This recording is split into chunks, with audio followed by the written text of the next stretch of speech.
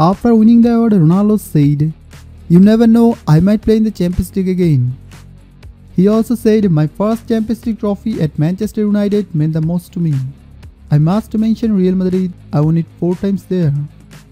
Now let's see other footballer and fan reaction on this award.